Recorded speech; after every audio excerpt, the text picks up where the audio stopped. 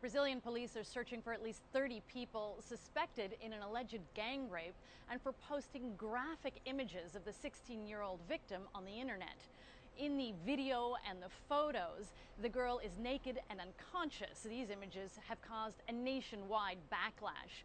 At a press conference on Friday, police said they ha- have identified four people, including a, a man in the video and the girl's boyfriend.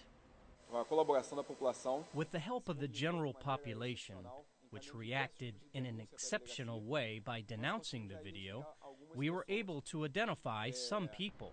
The 38 second video emerged at the beginning of the week, and initially it was uh, shared with vulgar jokes. Then it really did spark a backlash.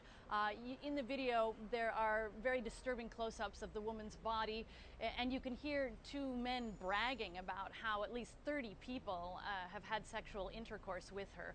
After the video emerged, the girl went to the police uh, and she testified to them that she had gone to her boyfriend's house on Saturday in a favela in the western part of Rio and that she woke up the next morning in a different house uh, surrounded by 33 armed men.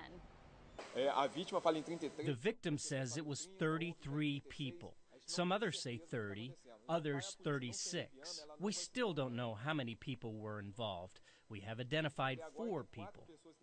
Brazilians took to Twitter and Facebook with angry messages using hashtags like estupro coletivo or gang rape.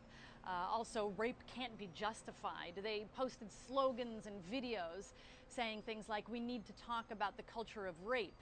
And it wasn't 30 against one, it was 30 against all of us.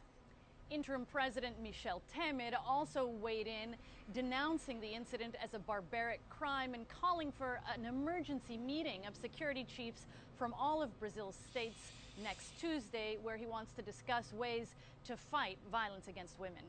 Shasta Darlington, CNN, Rio de Janeiro.